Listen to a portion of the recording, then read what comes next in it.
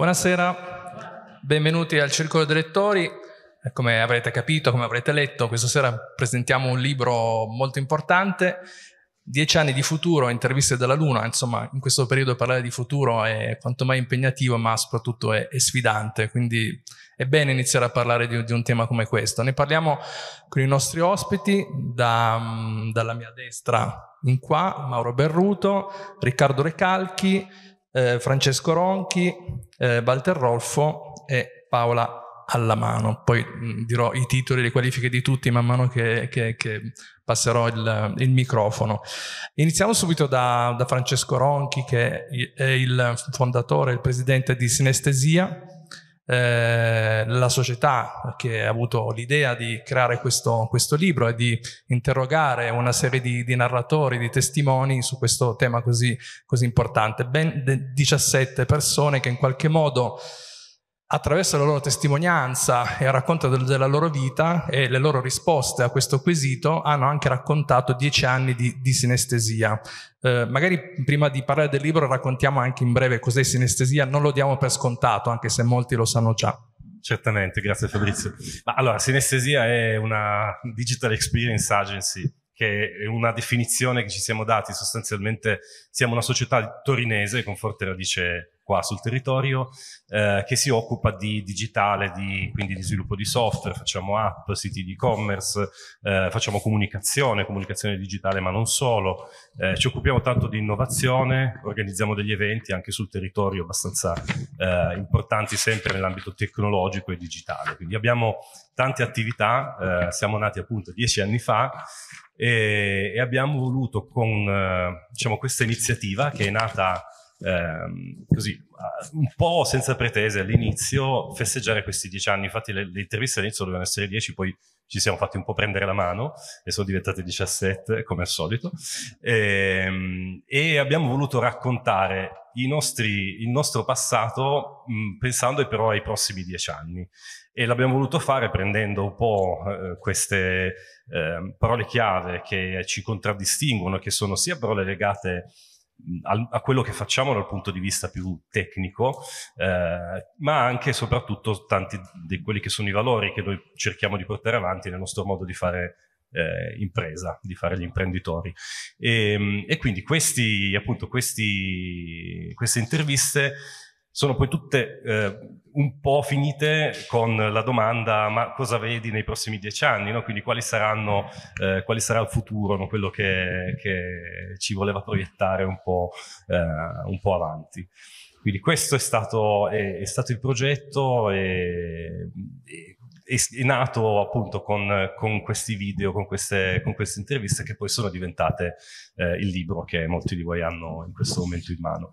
Infatti il libro è stato concepito un anno fa, intorno a marzo, esattamente quando cadeva sì. l'anniversario dei, dei, dieci anni di sinestesia, però immagino che sia anche il frutto di tutta una serie di riflessioni che ci siamo portati dietro durante il periodo pandemico, nel senso durante questo periodo di fermo, di stop, tanti di noi a, a diverso titolo, a vario livello, si sono messi lì a immaginare il durante, il dopo e poi anche il futuro, no? proprio a causa di questa pausa forzata di, di riflessione. Ma mh, da tutte queste interviste, adesso non, non eh, come dire, spoileriamo troppo, però qual è il sentimento che esce fuori alla fine?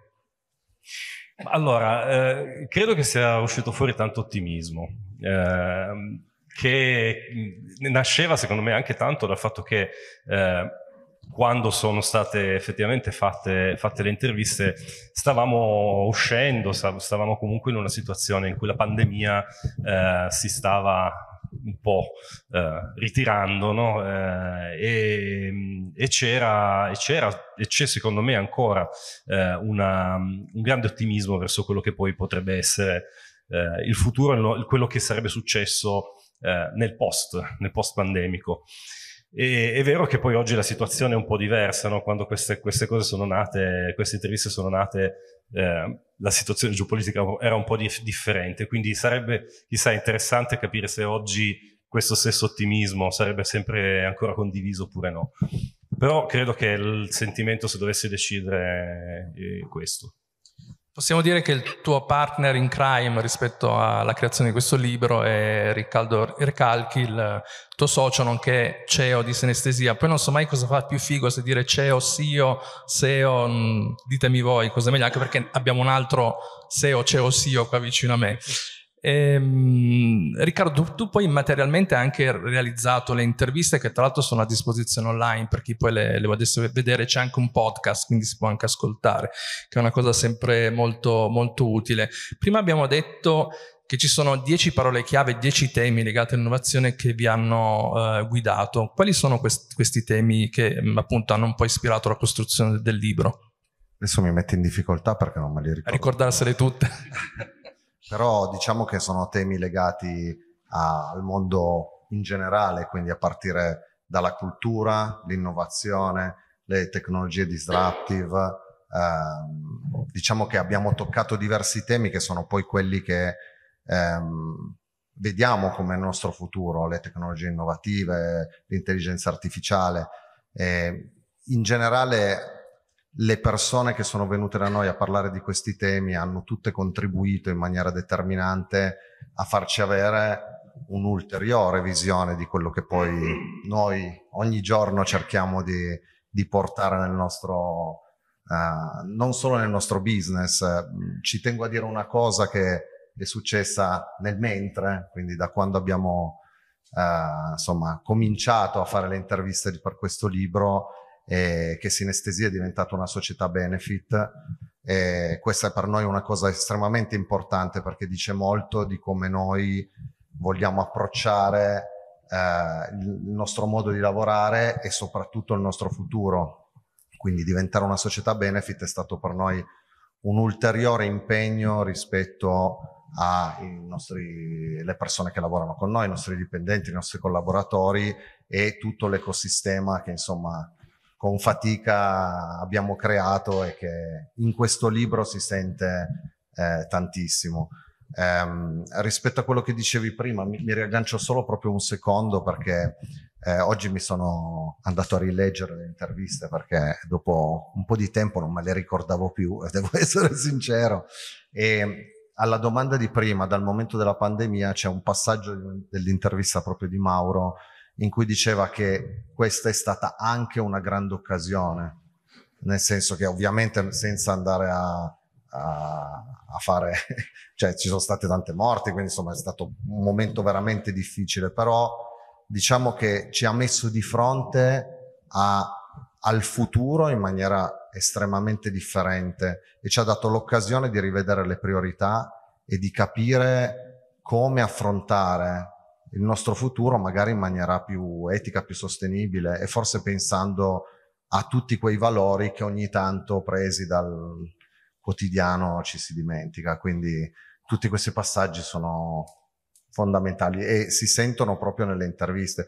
Poi devo dire che sul palco ci sono tre persone che ho intervistato io, quindi devo dire ah, fra che cioè questo e, e quindi esatto, questo è, e andando a rileggermi poi oggi tutta una serie di passaggi, ho notato che effettivamente le parole che poi abbiamo scelto sono state forse limitanti rispetto ai contenuti, perché ognuno di loro ha portato veramente una testimonianza eh, differente, ma molto importante rispetto alle esperienze professionali di vita e è stato proprio bello, io mi sono anche divertito molto, ci siamo fatti un sacco di risate durante anche le pause e, e ci siamo molto divertiti. Però questo libro è stato per noi importante perché è stato un po' come mettere a terra quelle che erano mh, i nostri valori e le nostre intenzioni proprio guardando a domani. Mi soffermerei ancora un attimo su questo discorso della società benefit, perché comunque eh, questa è una nuova frontiera del, dell'imprenditoria che si sta muovendo nel mondo e che finalmente sta arrivando anche in Italia e, e si collega poi alla, alla, domanda successiva e a un altro tema di cui si parla molto che è quella della solidarietà. Però prima di arrivarci, volevo chiedervi esattamente cosa vuol, vuol dire diventare una società benefit rispetto a quello che eravate prima, cosa comporta e quali sono poi i risultati che porta questo tipo di società, non soltanto dal punto di vista del, del business, ma anche della ricaduta sociale. Guarda, assolutamente. Ma allora, intanto spieghiamo che cos'è una società benefit. La società benefit è una società, eh, diciamo, può essere un SRL, un SPA, insomma, una società normalissima che aggiunge eh, al suo statuto eh, degli obiettivi di tipo sociale, di tipo etico, di tipo legato all'ambiente, eh, quindi inserisce una serie di parametri che esulano da quelli economici eh, tra gli obiettivi che vuole perseguire e lo inserisce direttamente proprio nello statuto in maniera pubblica. E ogni anno insieme a quello che poi è eh, diciamo il, eh, il, bilancio economico che porta avanti fa anche eh, un report di impatto che a sua volta viene, viene reso pubblico in cui racconta e spiega come ha perseguito questi obiettivi, in che modo e che obiettivi effettivamente ha, ha realizzato. Allora, questo per noi è stato davvero un passo importante perché, eh, come dicevo prima, tutti i vari valori di cui raccontavamo eh, e raccontiamo anche nel libro ci appartengono molto nel nostro modo di fare impresa. E quindi questa è una cosa che noi abbiamo fatto cioè, anche prima di diventare società benefit, nei dieci anni eh, precedenti. questo l'abbiamo fatto appunto con un'attenzione alle persone, con un'attenzione all'ambiente di lavoro, all'ambiente in generale, eh, con, nel, scrivendo un codice etico, quindi avendo tutta una serie di caratteristiche. Eh, oggi eh, abbiamo voluto ratificarlo con eh, il, il passaggio alla società benefit e stiamo facendo anche tutto un percorso di certificazione ulteriore che si chiama B Corp, eh, che è un altro movimento eh, internazionale che, che, st che, sta andando avanti, in cui eh, si vanno a, sostanzialmente poi ad aggiungere tutta una serie di altri parametri a, a questo. No? E questo è un fatto, questo è una, diciamo, è una, è una cosa che ehm, sta succedendo sempre più spesso nelle società eh, tradizionali che si convertono e che aggiungono questo tipo di obiettivi ehm, perché effettivamente ci sono anche dei vantaggi oltre diciamo, a quelli etici, oltre a quelli che appunto derivano da, da questi obiettivi raggiunti, anche dei vantaggi economici perché le, le società che fanno questo tipo di passaggio eh, funzionano meglio, più, risultano poi essere più stabili, attraggono più talenti, eh, fatturano di più, ci sono veramente degli studi che, che, che lo raccontano eh, e, sì, sì, sì, non c'è assolutamente sì. La domanda era se cambia qualcosa a livello di tasse, no, non cambia niente. Mi piacciono gli aspetti romantici.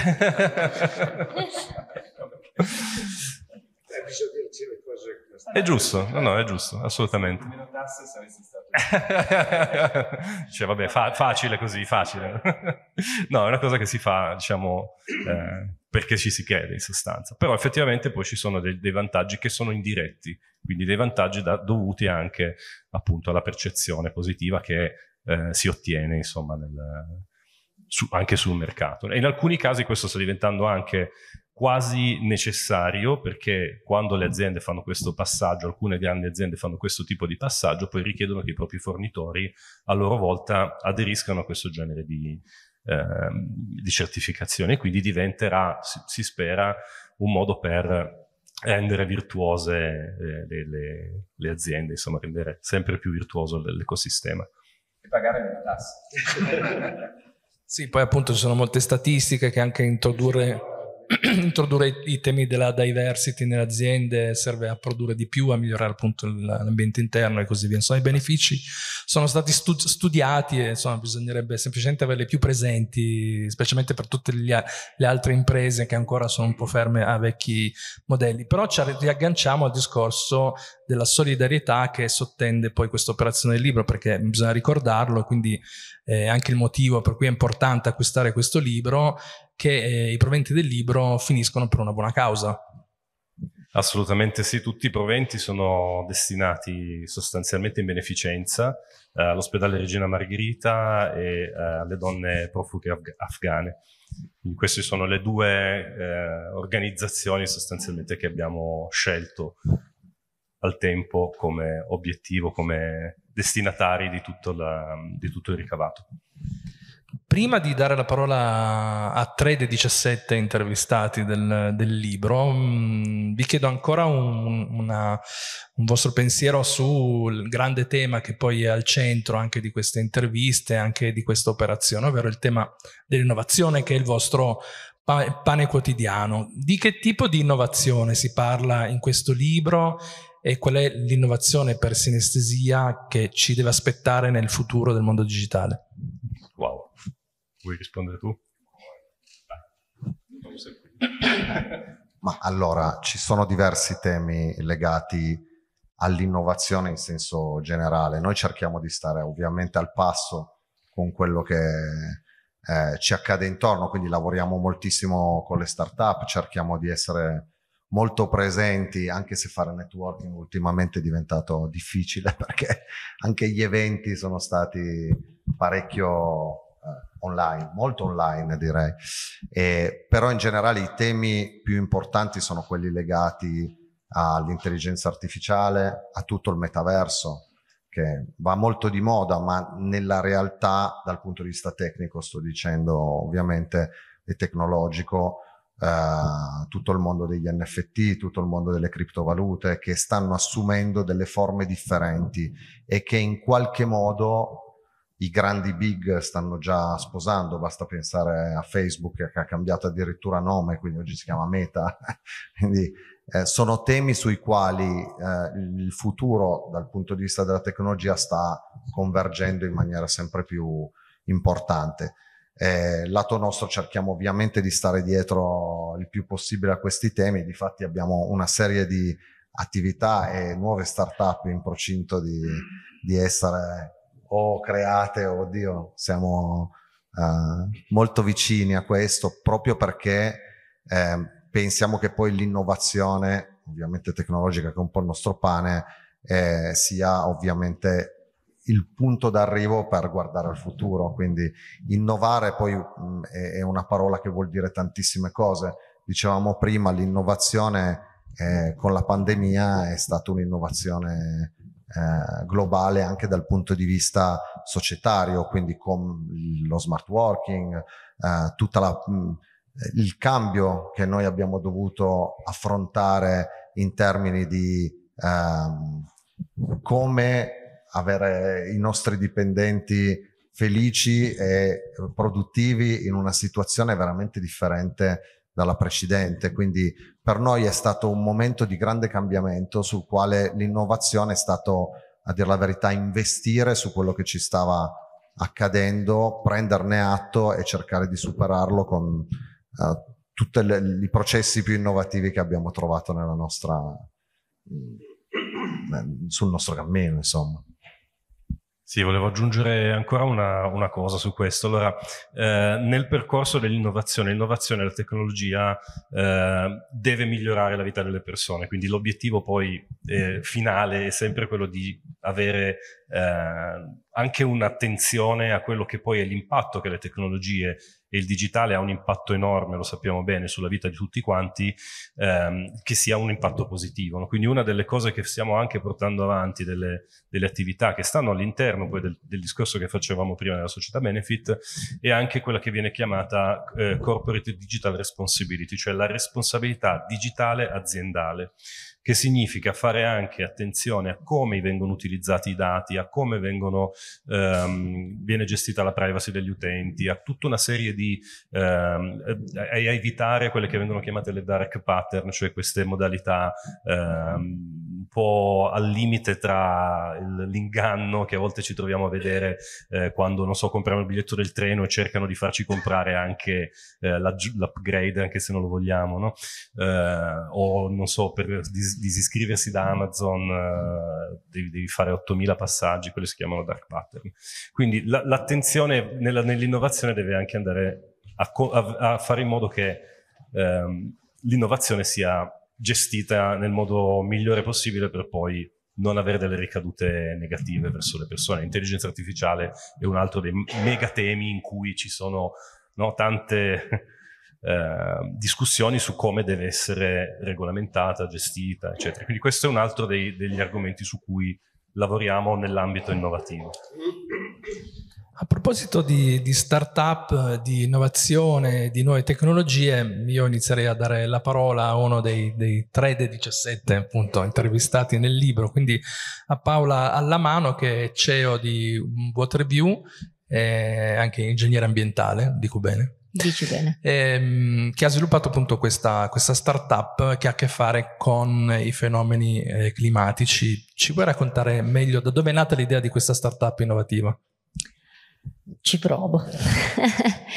allora, innanzitutto grazie dell'invito, è veramente un piacere essere qua con Sinestesia perché è una, una realtà che porta positività in tutto quello che fa, quindi è davvero un piacere lavorare e stare con loro. Waterview è una è una società non più startup, perché siamo già un po' più vecchiotti, ma quasi, ehm, che nasce in accademia, quindi nasce dalla ricerca scientifica ehm, con l'obiettivo di avere un impatto positivo sulla sicurezza delle persone dei territori di fronte a quello che è una grande sfida dell'umanità, che è il cambiamento climatico, che ormai è davanti agli occhi di tutti, ma che sette anni fa, quando è nata Waterview, non era così ancora riconosciuto, non era ancora così mainstream. E, ehm, e, nasce con l'obiettivo di dare nelle mani di chi gestisce i territori, le infrastrutture, i contesti in cui noi viviamo, operiamo, produciamo, dare uno strumento per adattarsi a quello che sta accadendo, prima ancora di risolvere quello che sta accadendo, prima ancora di mm, mitigare quello che sta accadendo a livello climatico, adattarsi e eh, portare una maggior sicurezza eh, per i cittadini, per i lavoratori, per, per i gestori delle, delle, infrastrutture.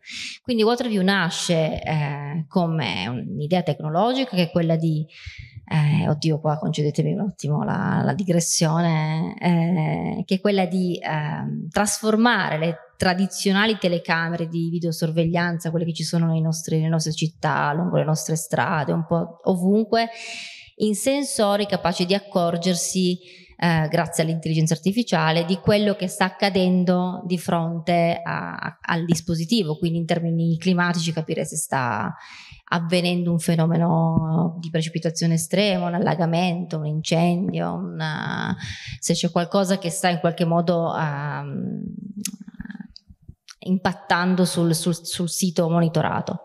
Grazie a questo monitoraggio che diventa quindi molto capillare, molto diffuso perché le telecamere sono ovunque, dare nelle mani di chi per esempio una, gestisce una tratta autostradale uno strumento per decidere se e come gestire nel momento del fenomeno climatico quella tratta per mettere in sicurezza l'utenza. Quindi banalmente se c'è una nevicata in corso, temperature basse e rischio ghiaccio sulla, sulla strada, dare un'allerta all'automobilista che magari non è proprio il classico pannello a messaggio variabile che ce n'è uno in chilometro che dice sempre la stessa roba, ma magari un pochettino più calato nella realtà, e, e attendere, magari avvertire direttamente l'automobilista sulla sua automobile eh, affinché adotti dei comportamenti adeguati. Quindi WaterView è diciamo, uno strumento di artificial intelligence che però si dedica alla sicurezza del cittadino. Quindi insomma sfrutta in modo positivo quello che è il normale sistema di sorveglianza. Sì, esattamente, aggiunge un po' di intelligenza a quello che altrimenti è di fatto un controllo del traffico, delle targhe, eccetera, eccetera. In realtà poi eh, per quanto riguarda la tua intervista nel libro, tu poi sei stata chiamata a parlare delle disruptive technologies. Cerchiamo di spiegare questo termine che in realtà poi indica il fatto eh, di tecnologie in grado di cambiare il paradigma, cioè di fare veramente la, la differenza al giorno d'oggi. Sì, sono tecnologie che un po' danno uno strappo, uno standard e si allontanano da quello che è in qualche modo il modo di operare consolidato, certificato, in cui anche, troviamo anche conf, insomma, conf, con confidenza, dando un po' uno strappo tecnologico che poi possa diventare un nuovo standard. E, ehm, sen- senza voler dire di aver cambiato con Waterview il modo di conoscere e misurare il clima, eh, ma certamente un po' l'ambizione nostra è stata questa e siamo un po' una declinazione di queste disruptive technologies. Quindi se ad oggi tutto quello che si fa nei confronti della conoscenza, se, misura e gestione dei fenomeni climatici viene fatto con la classica strumentazione meteorologica che si pianta su un palo con un plinto, con una, un sensore. Eh beh, da, da, oggi in avanti può essere fatto anche con uno strumento non dedicato che viene adattato per fare anche tante altre cose, con una sorta di economia circolare del, dell'informazione che quindi eh, riutilizza dati che vengono adibiti anche ad altri usi e, e che soprattutto scende a scale eh, più eh, compatibili con la digitalizzazione del mondo, no? quindi eh, una, a scale che sono più aderenti al nostro bisogno di conoscenza del, della realtà, perché ora una, una palina meteorologica ogni 20, 30, 50 km quadrati, oggi diciamocelo, non è più aderente alla nostra granularità, alla nostra eh, bisogno di conoscenza, per cui diamo uno strappo in questo senso. Più in generale una disruptive technologies è una cosa che strappa un pochettino a uno standard e cerca di fare un balzo in avanti. Non è sempre facile per questi balzi, però se uno sopravvive ne vale la pena. Tu prima hai detto che per la storia che ormai avete sviluppato non, non siete più una startup in senso classico, diciamo. Perché abbiamo sette anni, quindi ecco, sette anni quindi, sono insomma, abbastanza. siete diventati grandicelli. Ma ehm, quanto è difficile oggi mh, creare un'impresa digitale? Forse oggi un po' meno di quando abbiamo iniziato noi, è sicuramente una cosa, e forse quando abbiamo iniziato noi un po' meno di quando ha iniziato Sinestesia, quindi è sempre un pochettino più mh, condivisa la conoscenza di come si possa fare. E certamente non, non è facile. Eh, all'inizio è sempre un po' un percorso da evangelisti, no? una, sorta, una sorta di evangelizzazione del mondo in cui si porta un po' questo messaggio di innovazione. Si trovano tante facce con gli occhi sgranati ed è un pochettino complicato eh, essere presi sul serio, anche perché tipicamente ci si va con dei volti molto giovani, senza le rughe. E, insomma, in Italia non è più così facile andare under, under 40 a essere creduti forse diverso nel resto del mondo. Quindi no, non è facile. E, ehm, non sto a dire che magari la donna è ancora un po' meno facile, ma questo è uno stereotipo che non, non vogliamo portare su questa, su questa sede, in questa sede. E, ehm, non è facile, però ne vale la pena. Nella tua intervista poi affronti anche un altro tema molto attuale che riguarda il tema del, degli STEM e, del, e, delle donne, quindi delle mh, mm, conoscenze scientifiche eh, legate al mondo femminile, di quanto comunque tu nella tua esperienza riscontri il fatto che nonostante eh, si operi in un campo che è quello dell'innovazione, poi di fatto ci si abbia a che fare comunque con eh, un mondo mh, mm, a predominanza maschile. Come mai c'è ancora questo assurdo in un mondo che invece dovrebbe portare innovazione non soltanto tecnologica ma anche dal punto di vista di cambiare gli stereotipi e la cultura in generale. Eh, questa è una gran, è una gran domanda. Poi, sicuramente immagino che questo sia un fenomeno più specifico dell'Italia, probabilmente. Non so se nel resto del mondo è un po' diverso. Non lo so, forse un po', ma non, non necessariamente così, così grande, non è così grande la differenza. Ma allora, boh, mh, mm, è, è, sicuramente un, un, portare un cambiamento nel mondo delle STEM richiede anni, cioè passa una generazione prima che si inneschi un cambiamento e si trovino negli ambienti di lavoro le nuove generazioni, magari eh, influenzate da un meccanismo di comunicazione diverso in questo settore. Io credo che per, per, la generazione che un pochettino io rappresento, indubbiamente uno del, dei descrittori di questo fenomeno sta nel fatto che io ho, fatto, ho studiato ingegneria, beh, il 99% dei docenti è un uomo. Mm, che, che, non discrimina, che è super, magari estremamente fair, estremamente bilanciato. Tuttavia, l'esempio che si trova dall'altra parte è un esempio maschile e questo ehm, può essere solo uno dei tanti elementi che porta magari a scoraggiare eh, un pochettino anche all'identificazione di fronte a questo tipo di, di, di, di insomma, di esempi, di, modelli. Uno dei, mh, mm, ce ne sono probabilmente molti altri di elementi, in primis appunto uh, la cultura da cui, da cui deriviamo che vabbè, banalmente si regalano i Lego ai maschietti, e... però senza arrivare a questo tipo di, di, ragionamenti, davvero studiare ingegneria vuol dire confrontarsi con una, un, una, una, un contesto maschile, con metri di giudizio maschili, seppur positivi, ma maschili, per cui una donna può esserne scoraggiata. Ora per, per, osmosi, per vicinanza, da un ingegnere ambientale passerei a un altro ingegnere, ovvero a Walter Rolfo, che è ingegnere, professore universitario, conduttore, produttore televisivo, eh, tantissime cose, nonché fondatore e presidente di Master of Magic, che tra l'altro è stato da poco al TED Global, giusto? Di cui ci raccontavi un po' alcuni personaggi che fanno parte, diciamo, della cronaca internazionale, da Elon Musk ai Bill Gates, che insomma hanno raccontato tante verità, immagino. Verità, le loro. le loro verità. le loro. Eh, il tema che in qualche modo ti è stato affidato all'interno del, del, libro è quello della centralità delle persone e dell'inclusione sociale. E mh, tu in particolar modo eh, riprendi un po' quello che è un filo conduttore che ho visto che ritorna in molte interviste che è quello del limite, cioè del fatto che comunque ehm, alla fine niente impossibile e il limite è tutto mentale. E, e, poi aggiungi una frase che mm, mi ha colpito molto perché la dici spesso, che devi uccidere delle parti di te per costruirne delle altre. La puoi spiegare meglio? Un sacco di domande insieme. Innanzitutto buonasera a tutti, grazie di essere qui e grazie di aver preferito noi alla partita. Quasi tutti. e, ehm, allora, sì, io sono lucidamente schizofrenico perché siamo in tanti qua dentro. Io sono nato mago, ho iniziato a fare mago a nove anni e mezzo, poi mi sono involuto evoluto ingegnere, dipende dai punti di vista.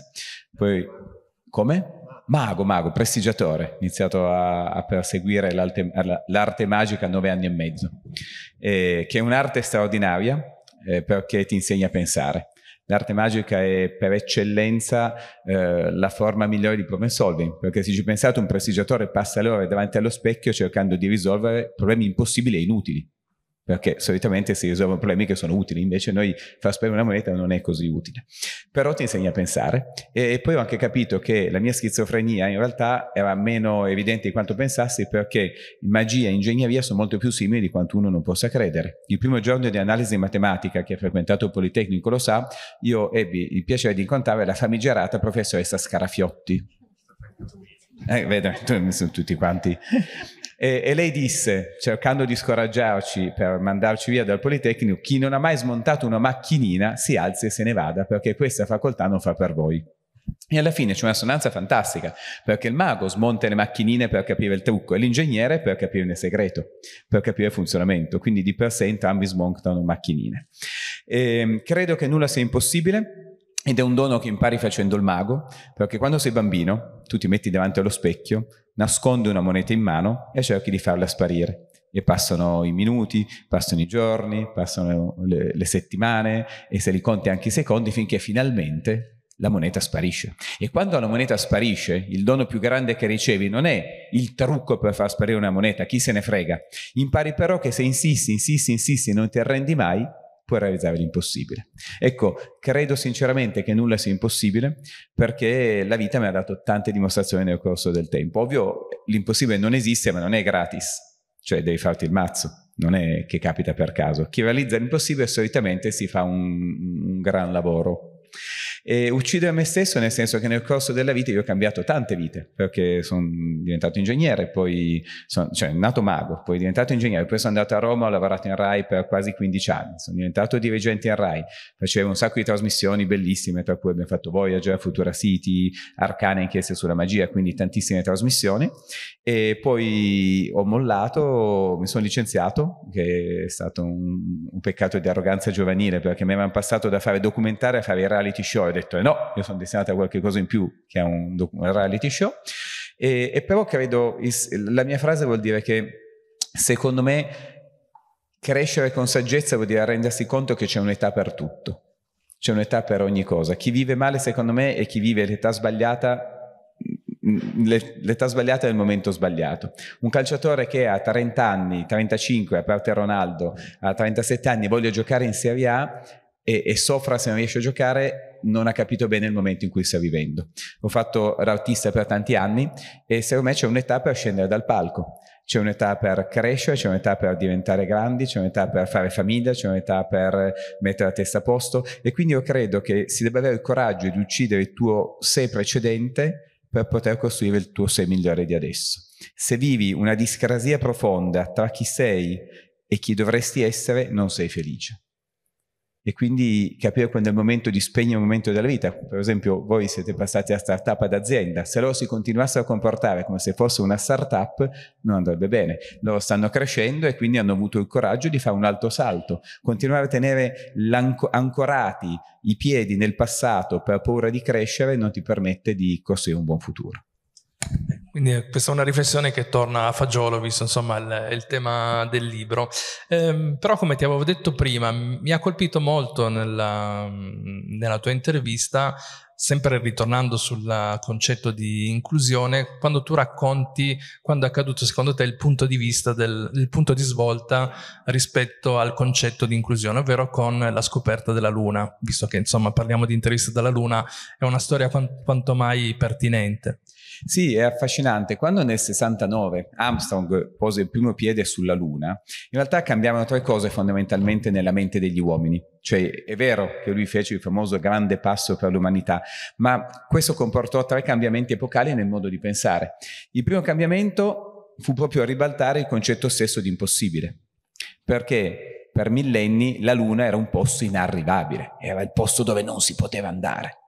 E, e, addirittura ovviamente tutti eh, i sognatori dicevano è andare sulla Luna. Quando l'uomo arrivò sulla Luna, per noi sulla Terra cambiò il modo di vedere l'impossibile. Difatti noi adesso non pensiamo più, se ci fate caso, che qualche cosa sia impossibile, ma diciamo quando capiterà.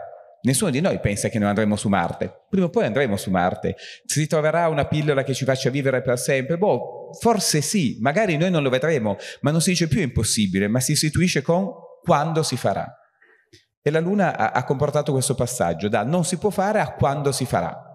Il secondo grande punto è legato alla sostenibilità.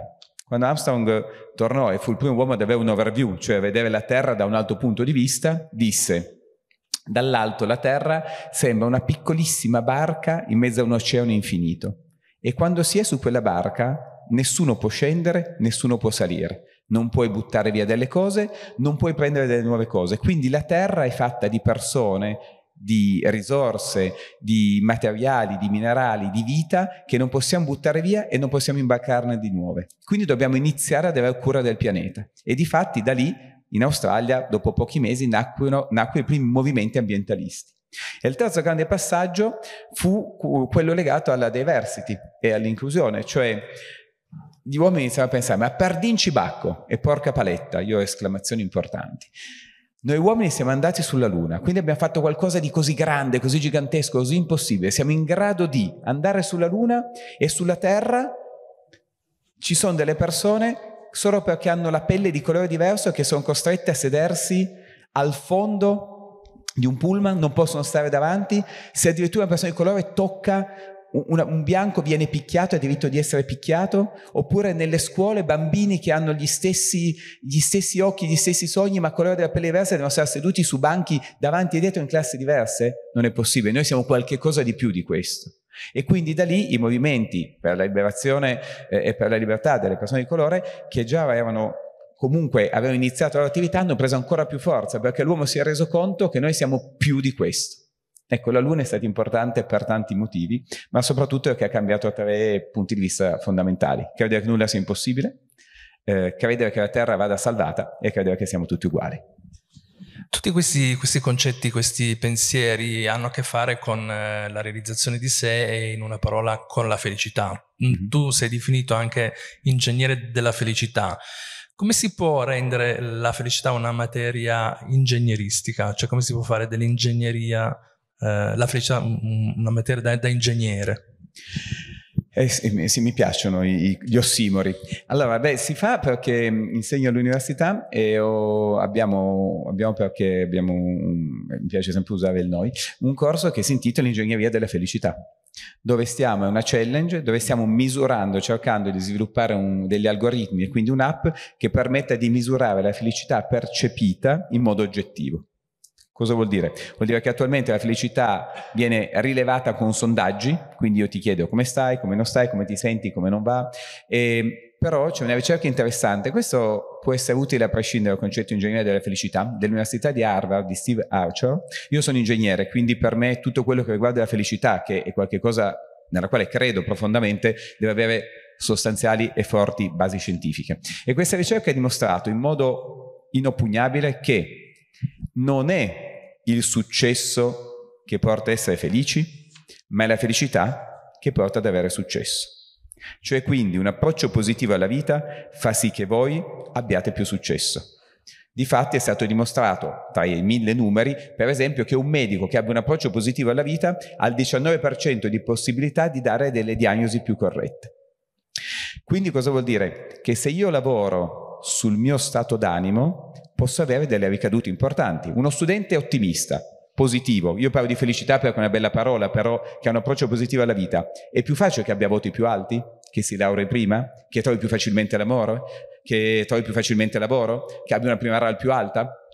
Banalmente, se quando io vado a un colloquio vado tutto triste e moscio, avrò più possibilità di essere assunto rispetto a un colloquio dove sono entusiasta, pieno di vita e sorridente? Se devo studiare e mi flagello col cilicio, studierò meglio oppure studierò con più entusiasmo se studio carico di energia? Cioè è molto semplice. Approcciare la vita con energia ti porta ad avere più successo. Quindi l'idea del corso, eh, sono molto orgoglioso che abbiamo messo insieme 20 professori studiosi di ogni tipo, è quello trovare un algoritmo che dica se invece di misurare come tu ti senti, di chiederti come ti senti, io misuro i risultati, quindi voti più alti, studi più alti, ehm, primo stipendio, eccetera, io riesco ad avere una specie di rilevatore, un termometro automatico che misurando dei parametri oggettivi mi dica quanto siamo felici. E perché è importante questo? Perché per cambiare qualche cosa è necessario misurarla. Se voi volete cambiare qualunque cosa di voi, dovete misurarla, cioè dovete sapere da dove partite per capire dove arrivate. È un programma di programmazione e controllo. Quindi cosa vuol dire? Questo è utilissimo. Volete dimagrire? Il metodo migliore è pesarvi ogni mattina. Se vi pesate ogni mattina, quando state per mangiare l'ennesimo profiterollo, vi girano le balle perché sapete che la mattina pesate un grammo in più. Basta già quello. Volete spendere meno con la benzina? Segnate quanto spendete ogni volta che fate benzina. Quando state per accelerare inutilmente al semaforo ci pensate. Cioè misurare è l'unico modo per cambiare le cose. Non possiamo cambiare le cose che non misuriamo. Quindi se noi troviamo un modo per misurare la felicità esagero ovviamente per estrapolazione, misurando la temperatura dell'aria, la colorimetria delle pareti e la media degli studenti, posso agire quasi immediatamente sullo stato d'animo degli studenti. E quindi stiamo poi evolvendo il progetto, creando, volendo creare una startup con i migliori studenti che permette di creare un'app che ci porta a misurare la felicità delle aziende e anche delle istituzioni o di un'intera nazione da dati oggettivi per poter cambiare la felicità delle persone. Avere obiettivi, superare ostacoli, superare il limite, penso che sia una specialità di Mauro Berruto da sempre, una specialità fisiologica perché ex allenatore della nazionale olimpica di pallavolo maschile, autore e storyteller. Eh, nell'intervista che lo ha riguardato, in realtà eh, si è partiti dal concetto di cultura e poi naturalmente unendolo anche al concetto di sport. E la, la cosa che mi è, mi è, piaciuta molto, in cui mi sono molto ritrovato, è il fatto che mh, tu abbia rivendicato il fatto di recuperare eh, la parola contaminazione quando si parla di cultura. Perché è così importante questa parola? No, buonasera, prima di tutto, grazie per l'invito, grazie a Sinestesia per questo lavoro. Volevo aggiungere che so, io sono laureato in filosofia, però ho un fratello ingegnere, perché volevo, volevo partecipare. Il che ti permetti di essere accettato esatto. di essere incluso, come dicevamo. Ma a parte gli scherzi, insomma, io sì, è curioso perché era appunto la primavera del 2021, eravamo, insomma, in quel momento pensavamo anche forse di essere più avanti rispetto alla eventuale uscita dalla pandemia, neanche ci immaginavamo quello che sarebbe successo, quindi il libro è già vecchio, poi compratelo ugualmente perché ovviamente ha una finalità benefica, ma già oggi credo che alcune, alcuni passaggi delle nostre interviste avrebbero un elemento nuovo, no? che, che, non era immaginabile semplicemente, ripeto, stiamo parlando di neppure 12 mesi fa. E, e in quel momento lì, sì, a me venne in mente questa cosa che ehm, che è quella di rivalutare no? una parola che è stata ovviamente massacrata negli ultimi, negli ultimi due anni delle nostre vite, che è la parola contaminazione, che però è un principio della vita, voglio dire, eh, vale sia per la biologia che per diciamo, l'approccio culturale, no? la capacità di sapersi esporre a una contaminazione, sapersi confrontare con qualcosa che è diverso da te, con qualcosa eh, che sei capace magari di fare e che ti spinge un po' a cercare di alzare l'asticella, no? di raggiungere quel limite di cui Walter eh, poco fa parlava. Eh, credo che questi due anni che hanno cambiato molto il nostro approccio su, su tante cose, eh, in un altro passaggio dell'intervista io cerco disperatamente di demolire un'altra parola che è la parola resilienza. Noi abbiamo anche un piano nazionale di ripresa e resilienza, come se non bastasse, eh, che credo sia veramente un rischio.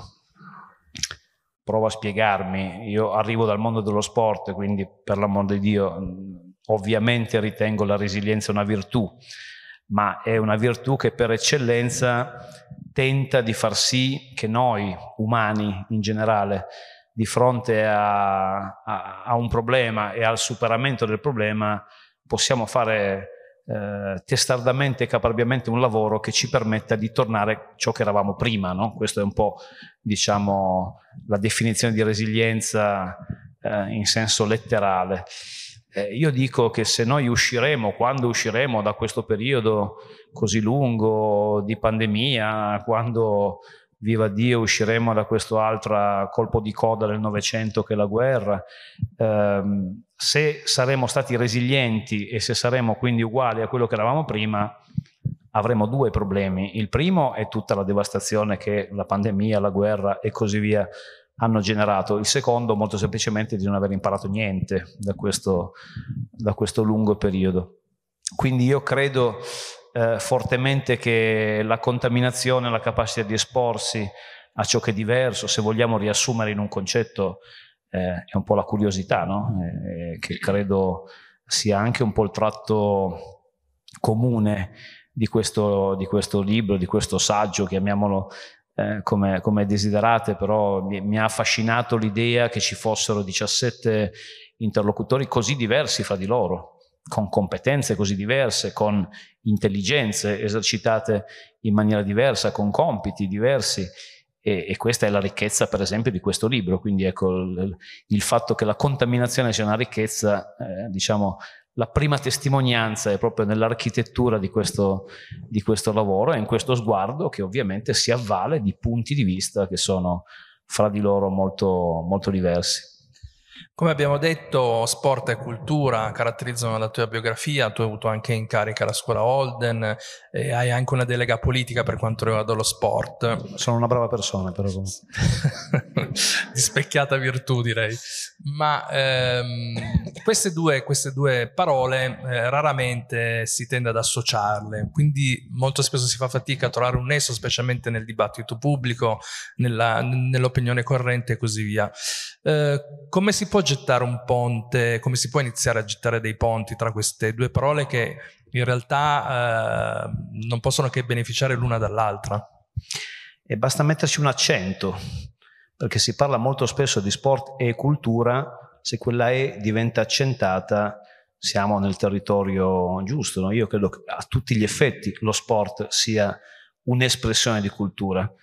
Um, mi, mi verrebbe da fare mille esempi anche molto concreti, cioè i grandi atleti, le grandi atlete eh, molto spesso fanno esercitazioni che sono assolutamente simili, non so, a grandi musicisti o a grandi danzatori o a grandi artisti, pittori, scultori. Molto spesso si, si, si scopre che poi alla fine la, la filiera di produzione del gesto finale ha dei parametri molto simili, il, quello, quello, che succede è veramente sovrapponibile.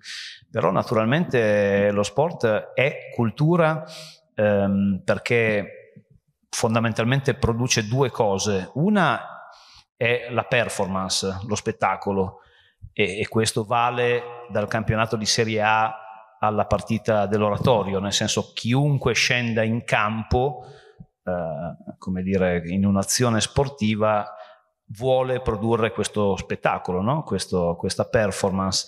La seconda grande cosa che lo sport fa è ispirare le persone, essere d'esempio, dare un contributo di interpretazione della realtà, di lettura di quel contesto che Paolo e, Val- e Walter hanno citato più volte, no? quella, quella agilità che è un concetto di nuovo sportivo, ma che è un concetto assolutamente anche intellettuale, no? saper leggere un contesto e sapersi muovere in maniera efficace all'interno di quel contesto. Lo sport insegna queste cose lo sport ha dei valori che sono, diciamo, più in- intangibili quando parliamo di sport come strumento di inclusione, appunto, quando parliamo di sport come strumento di prevenzione. E poi lo sport eh, ha anche dei valori estremamente tangibili, misurabili. Sposo eh, proprio parola per parola quello che Walter diceva quando sosteneva e sostiene giustamente che un pezzo di cultura che noi dobbiamo aggiungere al nostro paese è la misurazione dell'impatto delle cose che facciamo. Pensate, tornate, lo citavo prima per ridere, ma torno a, al PNRR, no? adesso arriverà del denaro, ci saranno molti progetti che partiranno in tanti settori, non misurare l'impatto di quello che succederà è un crimine, nel senso è non solo un'occasione persa, è proprio una, un enorme controsenso. Ecco, questa cultura della misurazione, certamente lo sport eh, ce l'ha insita. Io stesso ho allenato in uno sport dove non è neanche possibile pareggiare, quindi alla fine di ogni partita sul, sul tabellone c'era scritto se avevo vinto se avevo perso la, la, gara, magari per due punti o per 40, non importa. No? Ecco, questa capacità di agire e di creare dei modelli Paola lo citava, no? che siano replicabili, che, siano, eh, che, che, che, facciano quel balzo in avanti di cui parla, Paola parlava, ma perché poi possano diventare un punto di riferimento e costruire è, è, è quello che succede quotidianamente nello, nello sport. Quindi eh, la somma di queste cose mi fa pensare, mi fa credere con certezza e mi fa ogni volta che posso parlare di sport in quel senso lì, perché ovviamente noi abbiamo una lettura e un'immagine dello sport eh, qualche volta un po' semplicistica, no? Noi, noi, mediterranei, noi latini in particolare, insomma, quando sentiamo la parola sport ci, ci parte un riflesso pavloviano che ci fa andare alla, al derby, alla partita di calcio, invece lo sport è un universo molto complesso, non è un mondo perfetto questo, ovviamente così come non esistono mondi perfetti nella politica, nella, nell'economia, nella, nell'arte o in ogni altro contesto. Quindi credo fortemente che, e, e, e chiudo dicendo che se io ho imparato il valore, la forza, la potenza di quella parola da cui siamo partiti, che è la parola contaminazione, l'ho proprio imparato grazie allo sport. La mia fortuna da allenatore è stata di avere a che fare con contesti completamente diversi, sia per qualità ho incominciato davvero a allenare in un oratorio di questa città, Hamburgo San Paolo, per la precisione, per arrivare alla nazionale italiana e anche in contesti geograficamente molto diversi fra di loro. La mia ricchezza è stata, non so, allenare tre anni in Grecia prima e poi sei anni in Finlandia dopo, no? con uno, uno spread, si direbbe, di esperienza abbastanza ampio che però mi ha costretto a, a espormi continuamente a delle contaminazioni. Infatti parlando della tua formazione di allenatore, nell'intervista citi anche eh, il tuo libro capolavori dove parli di questo aneddoto accaduto nell'ospedale psichiatrico di Montichiari che ha cambiato il tuo concetto di allenare. Sì, torniamo a uno dei valori dello sport, no? eh, l'episodio si riferisce ormai a qualche anno fa, era il 2007, io allenavo a Montichiari in Serie 1 in una squadra importante, insomma di grande tradizione, in un palazzetto dello sport molto molto bello dove si gioca il campionato di Serie A. E lì vicino però c'è questa, c'era, perché non, non esistono più, questa struttura che si chiama OPG, che è un terribile acronimo che significa ospedale psichiatrico giudiziario, insomma il vecchio manicomio criminale per capirci.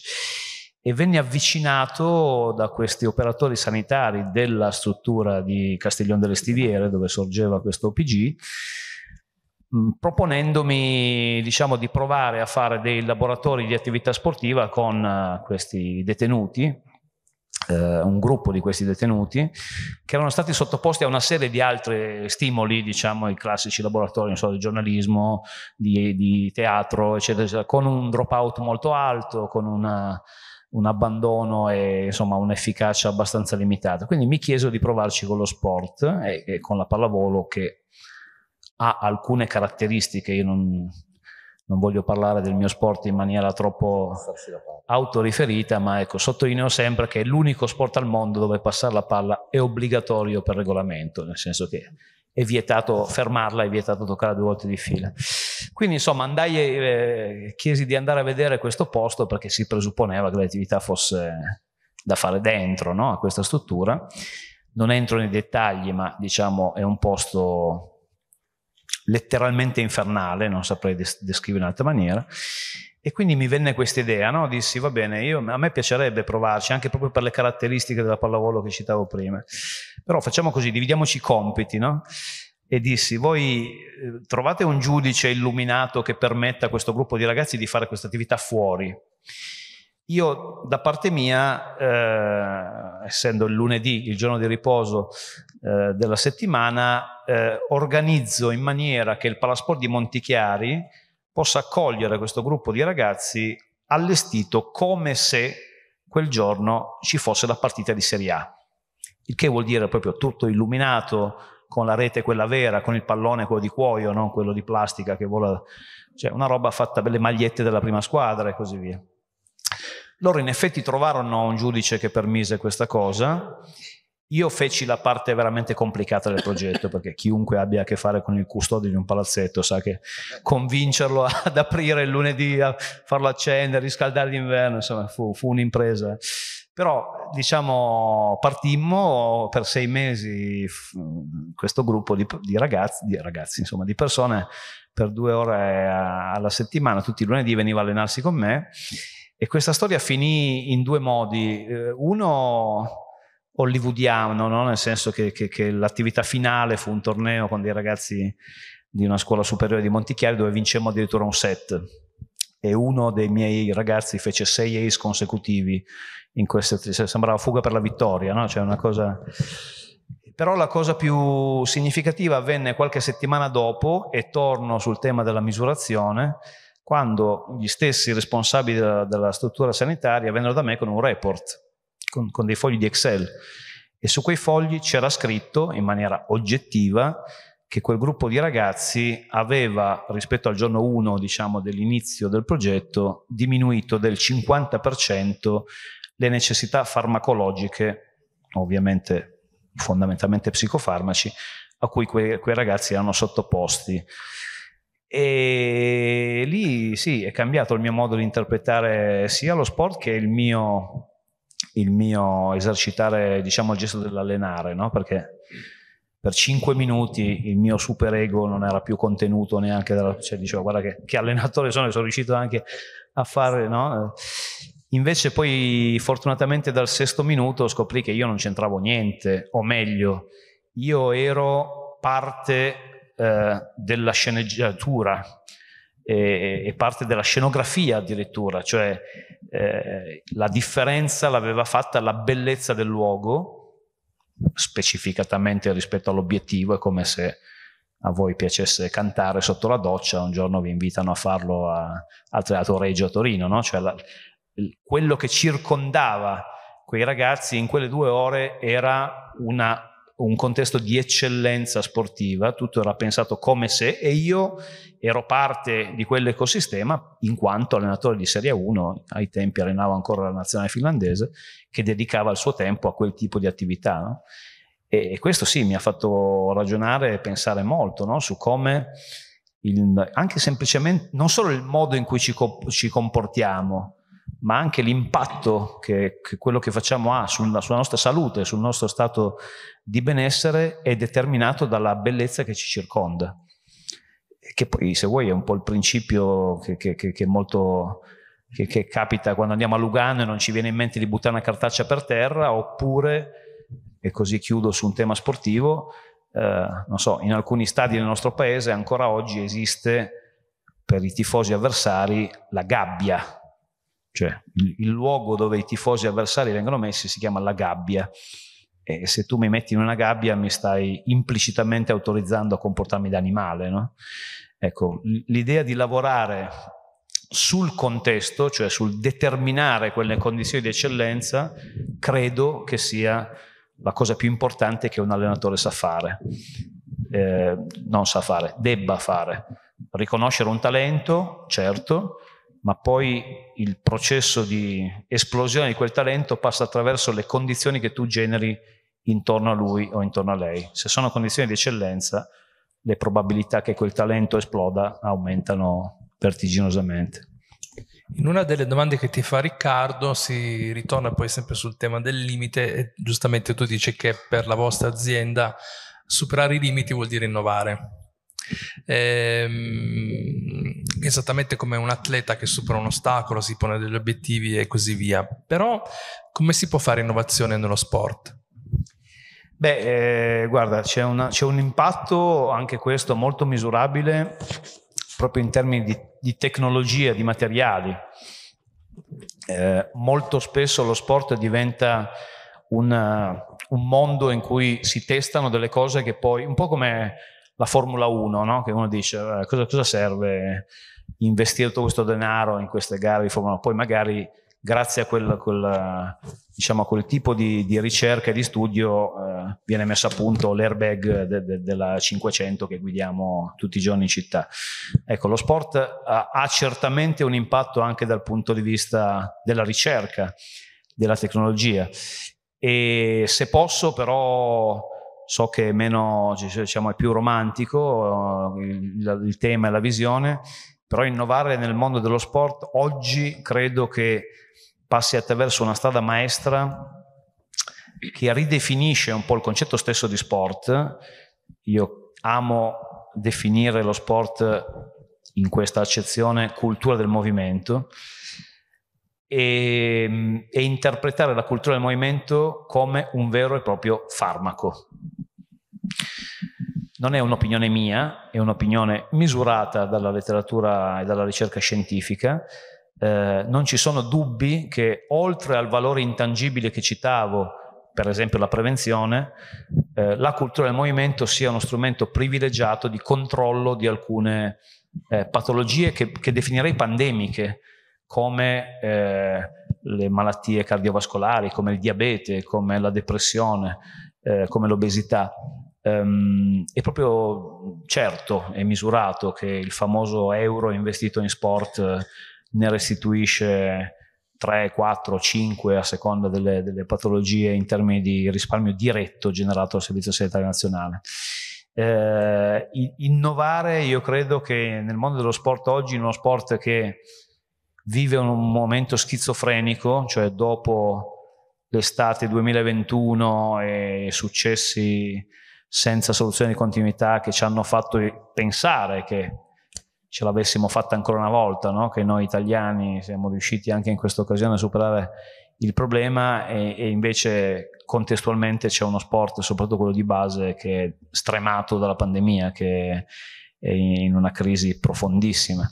E quindi credo che sia arrivato il momento anche di cambiare paradigma all'interno della costruzione no? del mondo dello sport, del modello che ha governato diciamo, lo sport nel nostro paese da quando esiste la Repubblica e immaginare questa estensione della, eh, del valore dello sport anche in maniera diretta sul, mi verrebbe proprio da dire, sulla difesa di un diritto costituzionale alla salute, perché noi viviamo, grazie al cielo, e vogliamo che sia così, e vogliamo difendere questo diritto in un paese che eh, garantisce i servizi della salute gratuiti e universali, no? E però viviamo anche una curva demografica che, che, ci ricorda che essendo un paese che invecchia, che è un'ottima notizia, ma ovviamente significa avere maggiori richieste di servizi della salute e minore possibilità di sostenerle da un punto di vista economico, ecco un grande cambio di paradigma è immaginare lo sport come uno strumento di difesa di quel diritto. E, e questo, insomma, ripeto, non è solo un'opinione, ma è una, eh, diciamo una tesi convalidata e misurata dalla letteratura scientifica. Io direi, se siete d'accordo, che i tempi sono maturi per porre a ciascuno di voi la domanda delle domande, cioè la domanda che ricorre alla fine di ogni intervista. Quindi vorrei che adesso ciascuno di voi eh, raccontasse eh, cosa immagina che sarà il futuro nei prossimi dieci anni. Inizierei da Paola. So di darti un macigno. Così. Ma innanzitutto, beh, questa è la domanda alle domande alla fine dell'intervista, che però è stata fatta un anno fa e quindi la risposta delle risposte non necessariamente è la stessa. Ovviamente, vabbè, la, la mia risposta professionale che io mi occupo di adattamento al cambiamento climatico, questa è una grande sfida per l'umanità e indubbiamente avere un impatto in questo settore è un pochettino il, il percorso attraverso cui credo che la Terra, il genere umano, in questa eh, anche logica di sostenibilità del pianeta debba passare, per cui dotarsi di strumenti che ci consentano di superare la prossima grande ondata che sarà quella che ci impone mm, il pianeta. È vero che poi tra rispetto a un anno fa, in questa fase post-pandemica, posto che sia post-pandemica, eh, sono successe altre cose, per cui ci sono le prospettive sono diverse, è un mondo che passa dall'essere completamente esplorabile a un mondo che si sta di nuovo un po' polarizzando, quindi è più difficile rispondere in maniera univoca oggi, onestamente non ho, non ho, una risposta a questa domanda. Io mi occupo e non voglio uscire dal mio solco di, di, di ambiente, di clima, di adattamento al cambiamento climatico, il mio, insomma, il mio grande la mia grande sfida è quella di avere un ruolo, un piccolo ruolo in questo settore nel quale sono cresciuto, ho studiato, mi sono specializzata e quindi ho creato la mia azienda, eh, per cui credo di poter dare una piccola risposta ad un grande problema ehm, e credo che il mondo sia tenuto a passare da lì. Um, c'è sempre un, un bel concetto che, che, mi ricor- che, mi, che mi torna in mente eh, da genitrice che è quello del patto generazionale, cioè abbiamo il dovere di lasciare nelle mani delle prossime generazioni un mondo che non sia quantomeno peggiore di quello che abbiamo trovato, per cui magari anche migliore, per cui la nostra grande sfida, la, quello che dobbiamo fare in questi prossimi dieci anni, ce lo, ce lo siamo anche detti, l'agenda 2030, quello che ci siamo scritti, ci siamo voluti ricordare come ehm, anche a livello regolatorio, è quello di eh, consegnare nelle mani dei nostri figli un mondo non peggiore di quello che abbiamo trovato, magari migliore, con delle soluzioni a certi problemi e quindi questo è, il, è l'ambito in cui mi sento di poter eh, dire di poter mettere il mio, i miei 200. Dopodiché effettivamente il contesto mondiale geopolitico è, è cambiato e, e, non è così semplice dare questa risposta oggi, non lo era un anno fa, forse lo è ancora un po' meno, un po meno oggi. Allora, io sono un ottimista pazzesco e quindi io credo che il futuro sia un posto meraviglioso. Perché noi siamo vittime di due bias, di due tunnel cognitivi. Il primo è pensiamo che essere ottimisti sia un modo di essere, invece essere ottimisti è una scelta. Uno sceglie di essere ottimista o no, come secondo me si sceglie di essere felici. Il secondo grande bias, il secondo grande tunnel cognitivo è che noi pensiamo che il futuro è qualcosa che accade o che accada. In realtà il futuro è quello che noi costruiamo. Certo, poi sono realista, è ovvio che dopo quattro ondate e una guerra, anche un ottimista come me si è un po' rotto le valle, lo confesso. Però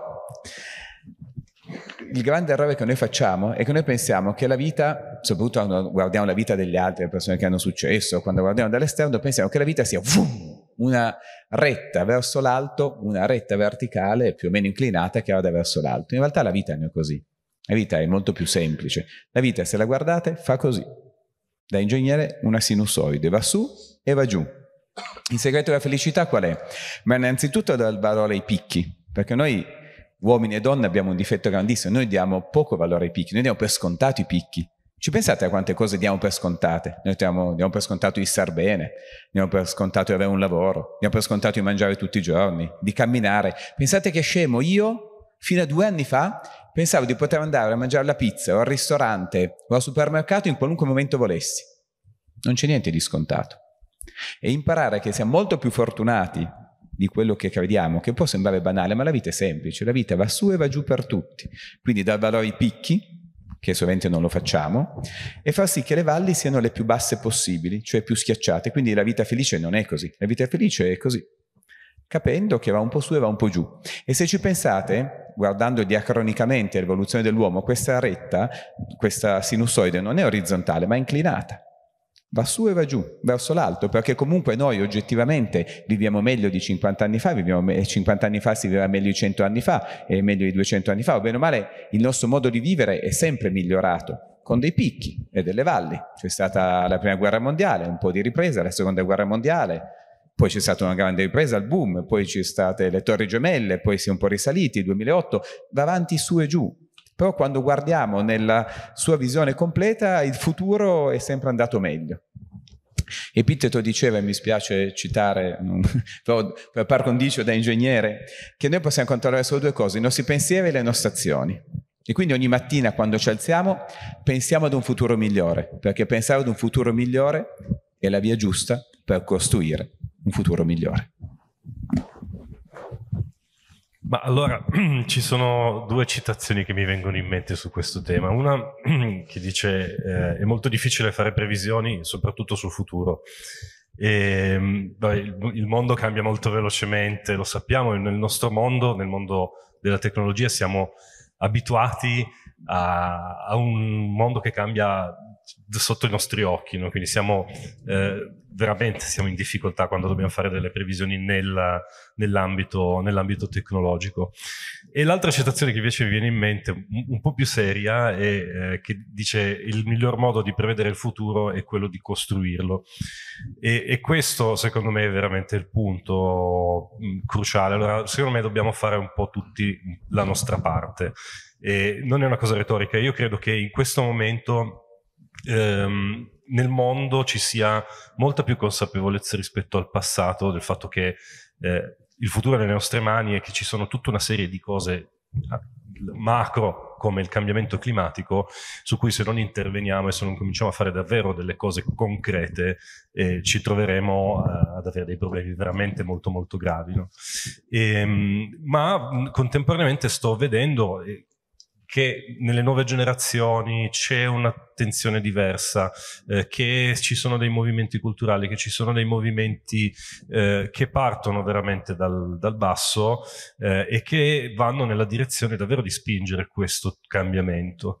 Quindi questo nonostante appunto la situazione che, che dicevamo prima, che, che, ci fa, che ci appesantisce. Secondo me siamo tornati indietro di, di anni con questa guerra. No? Cioè, il mondo sembra tutto più grigio, sembra tutto più eh, difficile, eh, però nonostante questo, eh, quest, il fatto di vedere questo, questa tendenza mi fa, mi fa essere ottimista, mi fa pensare a un futuro che sia eh, migliore perché veramente, come diceva Walter, eh, a volte non ce ne rendiamo conto, ma è sempre stato così. Il, il, futuro è sempre andato verso un progresso.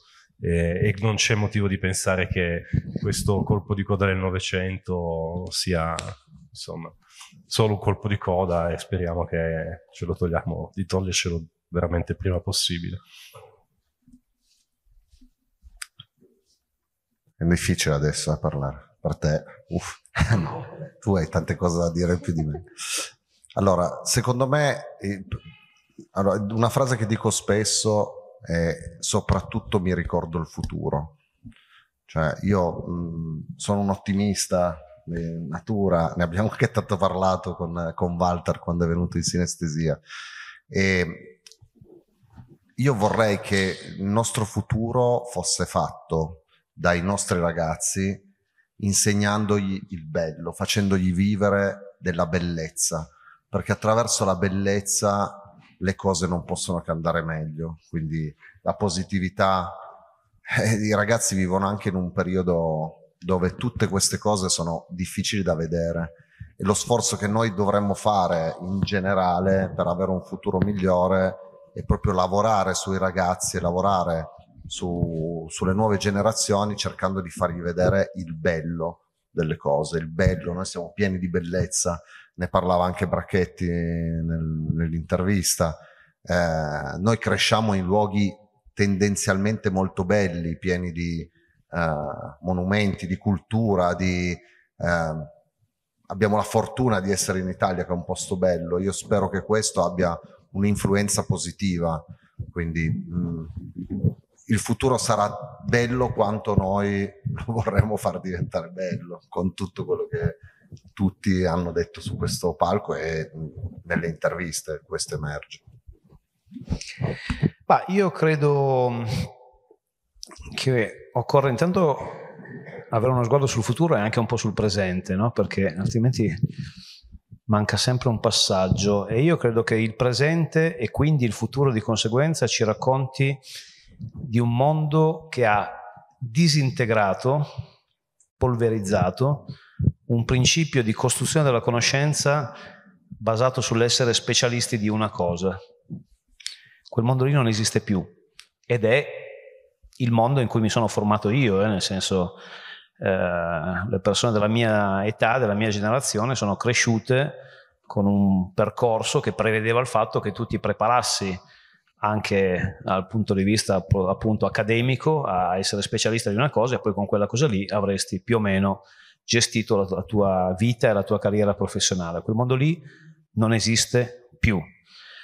Eh, ed è una buona notizia perché io credo che dal presente e dal futuro eh, noi dobbiamo aspettarci un esercizio di intelligenza collettiva, ovvero eh, team proprio perché nessun esperto da solo, esperto di una cosa, è in grado di risolvere un problema, noi dobbiamo lavorare affinché qualunque problema, qualunque situazione venga gestita dall'intelligenza di team capaci di essere composti da specialisti di specialità diverse.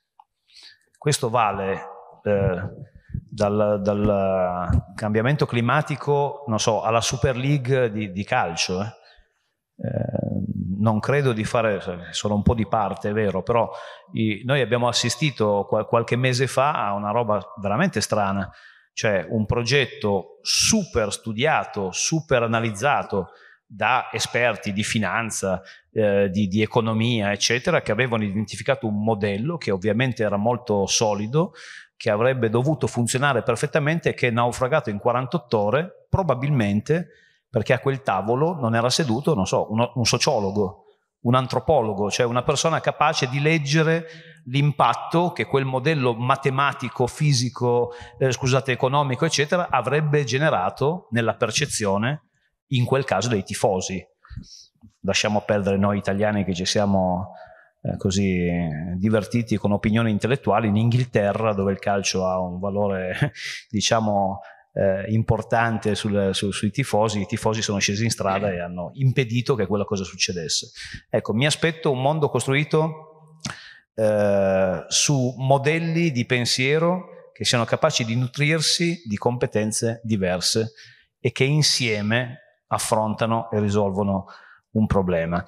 Eh, purtroppo il presente, ed ecco perché ritorno al colpo di coda del Novecento, ci mette di fronte a una situazione in cui nei centri di potere siedono ancora oggi uomini, e torniamo a prima, e uomini che si sono formati in, in un mondo che non esiste più, che si sono formati come me scrivendo la tesi sulla macchina per scrivere. Ecco, questo è il rischio. Noi dobbiamo, credo, fare in modo che questo passaggio che divide diciamo, la generazione del, dei ragazzi e delle ragazze che invece si è formato in un mondo eh, in cui la rivoluzione digitale aveva già avuto suo, eh, diciamo, la sua accelerazione e dobbiamo fare meno danni possibile. Mm, apprezzo e condivido con Paolo l'idea del, della capacità, se, se, riusciremo, di donare un, modo, un mondo, ecco, diciamo almeno non peggiore per rimanere realisti, però noi abbiamo questo, questo grande punto interrogativo in questo momento da gestire. Noi siamo, cioè chi detiene il potere oggi, chi principalmente è ancora seduto nei centri di potere oggi, è espressione di un mondo che oggi non esiste più e quindi può essere molto pericoloso. E non è un caso che a fronte di tutti questi processi di innovazione che noi abbiamo, abbiamo raccontato e che sono evidenze eh, di chiunque abbia un minimo di, di, di pensiero logico, eh, leggiamo, so, la cronaca di, di un matto che manda ragazzi a scavare trincee nella zona di Chernobyl, creando una, un numero enorme di persone che oggi hanno un anno di aspettativa di vita. È incredibile pensare che possa succedere questa cosa. È successo meno di un mese fa. Ecco, que- questo passaggio è il rischio.